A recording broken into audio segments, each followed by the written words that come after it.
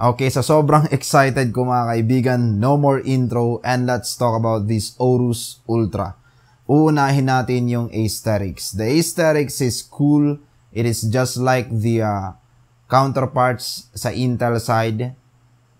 Sa wakas, medyo maganda-ganda na yung mga aesthetics ng mga AMD motherboards lately compared in the previous uh, generations na medyo uh, pag uh, AMD motherboards it's a bit classic or uh, it doesn't comes with this add-on kits na katulad nung mga nasa Intel motherboard. So, uh, ngayon mapapansin na natin na ang dami ng kung ano-anong mga body kits or ornaments or garnish na ang nilagay sa mga motherboards. But what is good is very functional yung mga ibang pinaglalagay na nila. Like the I.O. shield is now improved. Before, plastic lang yan. And uh, now, lately, you can see top-end motherboards with this uh, aluminum alloy uh, I.O. heatsink or I.O. shield. So, yun yung mga nag-improve lately na napansin natin with the X570 motherboards. But of course, we will be talking today about the X570 Aorus Ultra. So, yan po yung pagtutuunan uh, natin ng pansin. Uh, since I want to talk about this motherboard, actually yung pinakabala ko dito sa motherboard na to is to go deeper than uh, talking about the motherboard itself or doing the real world benchmark by going in depth like uh, talking about the SMD side or the PCB side of the motherboard. Pero uh, I have linked down below the Buildzoid uh, review regarding that. Na sabi na niya lahat doon na it went down to ano pang sasabihin natin or ano pang pag-uusapan natin. Kasi even the model of the VRM or even the model of the MOSFETs nabanggit na niya doon. So if you are a guy who is uh, really interested in terms of electronics or components in the SMD side of a motherboard, then this is the perfect video that you may watch. Okay, so uh, since meron na ang review na ganun, let's now jump onto the real world benchmark review of this motherboard in terms of uh, testing it, doing the benchmarks, overclocking, and of course, testing the fastest SSD, PCIe Gen 4 SSD that we have just encountered. So, yan is meron lang din po sa Aorus. Uh, in terms of aesthetics, I don't have anything uh, na pwede pang uh, sabihing idagdag or whatsoever na tanggalin. I think everything is uh, uh, looking good with this Aorus Ultra. But uh, my only concern, which is uh, really a very big uh, uh, disappointment for me, for me lang ah, uh, it's my personal preference or it's my personal opinion. Uh, I've encountered motherboards way back before, like a 10 or a decade ago, that they used the fans to cool down the heatsink, chipset heatsink. That was way before. And uh, the common issue ng mga motherboards na yan is it ended up na yung mga fans ng mga heatsinks is nag uh, uh, wear down or kumbaga nagde-deteriorate in the long uh, run. Parang kumbaga after 3 years, 5 years, ayun makikita mo na na uh, biglang natatanggal yung uh, fans or kaya yung uh, buzzing sound. And the most common problem, heat sinks purpose is to cool down the chipset. From time to time, umiinit po yan ng umiinit mga kaibigan. And of course, comes the time na yung mismong fan or mismong yung fan assembly is madedetach na sa heatsink, which is, I think, the most um, disappointing move by the X570 or the motherboard companies because the problem in here is they have tried this before and it didn't really work that well. Anyway, that is just my opinion mga kaibigan based on my experience and uh, based on what I've encountered before. Pero let's go back with this Aorus Ultra. What makes it good? What I really love with this motherboard is of course the VRM cooling heatsinks. Well, after last year, very disappointing performance of their motherboards sa second gen lineup ng uh, ah, AMD Ryzen, eto ngayon at bumalik ang Gigabyte at ibinalik nila ngayon yung classic design ng kanilang uh, ah, VRM heatsink or yung cooling uh, solutions nila para sa VRM. Binalik nila yung may mga fins na heatsink.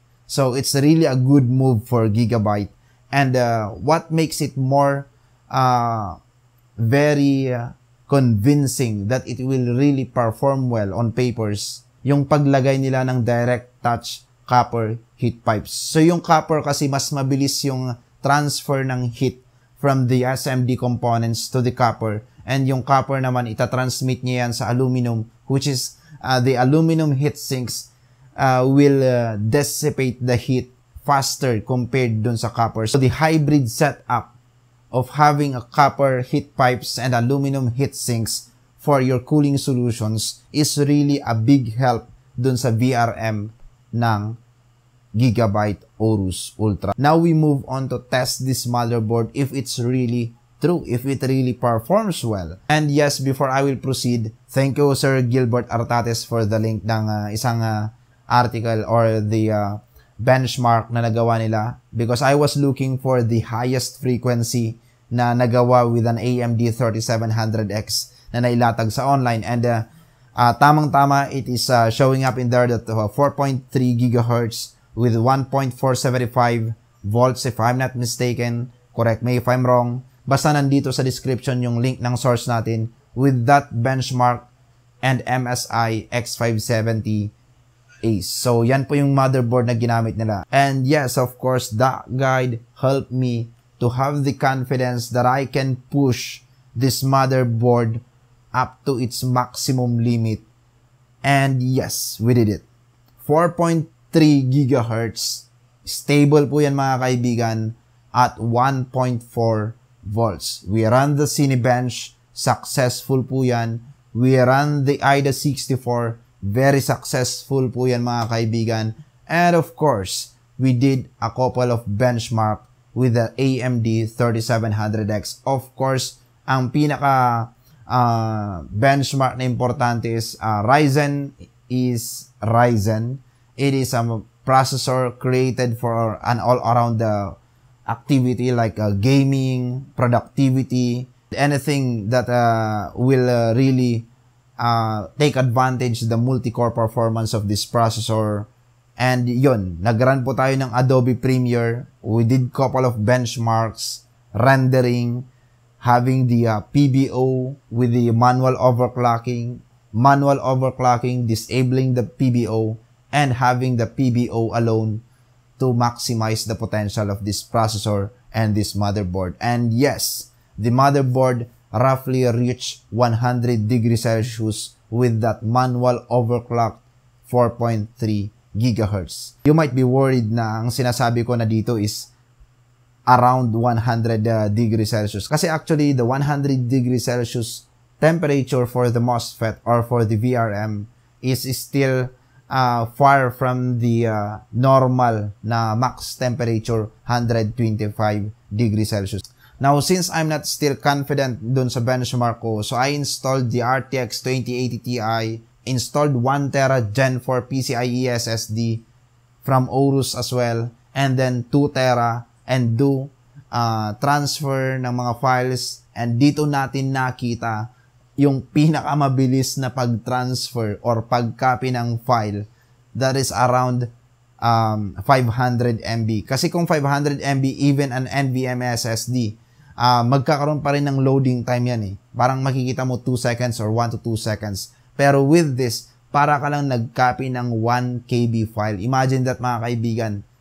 Gen 4 SSD up to 64 gig transfer rate. Gen 4 to Gen 4 na PCIe SSD. Ganun po yung lumabas. So I'm now talking about the real world uh, benchmark because uh, I know you have seen benchmarks uh, with the gaming side. So medyo iiwasan na natin yan. Marami na masyadong uh, nilabas na mga benchmarks. So I will just be focusing on uh, the extra things na pwede natin gawin sa computer. And here, I'm trying to showcase how the PCIe Gen 4 works. Pero of course, if uh, even you have that kind of SSD, kung yung pagtatransferan mo naman is hard drive pa rin, or yung pagtatransferan mo is an SSD pa rin na traditional SSD or SATA SSD, it will still fall down to the transfer rate kung anong pinaka-maximum na uh, capability ng uh, lower end SSD or the older SSD. Now going back to the benchmark natin kanina pagdating sa overclocking with the Adobe uh, premier rendering, nakita natin dito that there is no significant difference of having uh, PBO enabled at saka manually overclock kahit na crank na natin yung processor up to 3 point or 4.3 gigahertz. So medyo dito natin mapapansin mga kaibigan that uh, manual overclocking is I think uh, not anymore giving a huge advantage pagdating dito sa mga sumunod na Ryzen 3rd gen lineup ng AMD because AMD now gave us the opportunity na even you are not that kind of enthusiast guy, once na enable mo yung uh, PBO or yung precision boost overdrive, automatically your processor will have this frequency na 4.2 or 4.1 because when I did the benchmark, it is roughly going up to 4.1 to 4.2 gigahertz. And uh, the benchmark during the rendering process, makikita nyo na it's just a few seconds difference compared dun sa manually overclock na talagang napwersa natin or na-stress natin yung VRM. Uh, it's already the maximum uh, frequency so far recorded, especially when I tried to upload this uh, benchmark with a user bench So, dito natin makikita na, uy, 100% percentile. So, ibig sabihin halos parang tayo pa lang yung may nagawang pinakamabilis na processor uploaded online. Actually, kanina may mga natanggap akong parang uh, mga uh, questions na bakit sir yung frequency ko biglang natalon tapos yung temperature ko rin biglang natalon.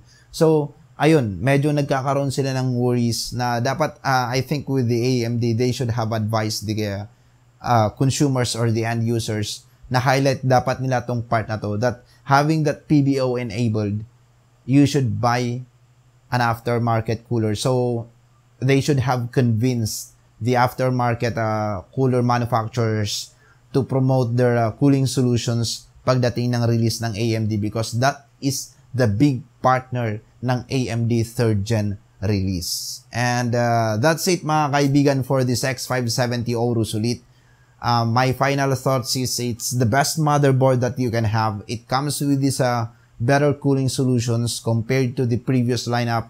Having that direct heat pipe and aluminum heatsink is not a common thing. It's not a normal thing. It's not just another cooler that is implemented to a motherboard. That is really something significant that made this motherboard excel or perform better than the competitor, especially when uh, I saw the uh, Reddit uh, tier list in terms of motherboard. It shows in there that the Gigabyte line of motherboards are now in a better rank compared to the MSI, which is baliktad last year. Oh, in the previous years, you can see a lot of uh, good uh, MSI motherboards, but this year, it is now more on the Gigabyte Aorus side. And uh, even the Asus motherboards, doesn't uh, have that uh, enough models to go on par with the Gigabyte lineup. Imagine the Gaming X as their base model and it's in the um, second to the bottom where there are a lot of couple of motherboards like the MSI and the ASRock at the bottom side